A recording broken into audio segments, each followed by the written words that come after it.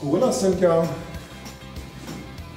eigentlich kann man sagen grundsätzlich Vegetarier und so sieht das denn bei uns auch aus, dass wir grundsätzlich erstmal nur natürlich Gemüse verfüttern.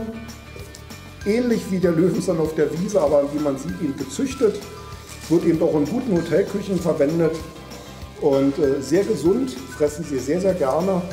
Und natürlich ähm, grünen Salat. Und wir bekommen das Futter aus unserem Futtermagazin. Und äh, da sind wir natürlich ja in einer stetigen Verbindung und ähm, ich schreibe Futterpläne, so was wir hier für die Tiere brauchen. Das Grüne bekommt sie um 11.30 Uhr und das, was ich wie gesagt vorhin schon gesagt habe, das wäre eine Nissefütterung um 14 Uhr.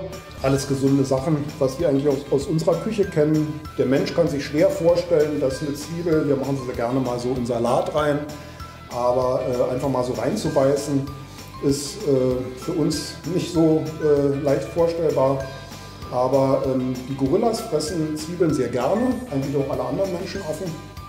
Zwiebeln haben auch eine antibiotische Wirkung und äh, ist also auch darmreinigend.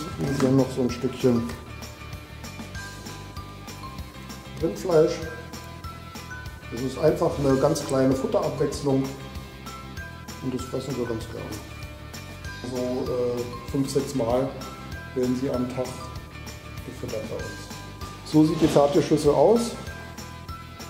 Und mein Mitarbeiter, der geht dann nachher um 14 Uhr und schmeißt das den Tieren rüber.